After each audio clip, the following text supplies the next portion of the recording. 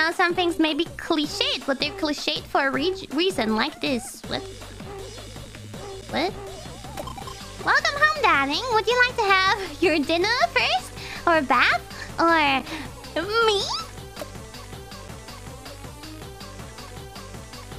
Uh,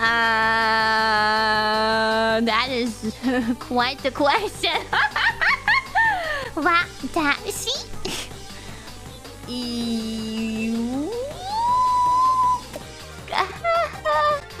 You're so naughty. No, fu fuck that shit. No, ew.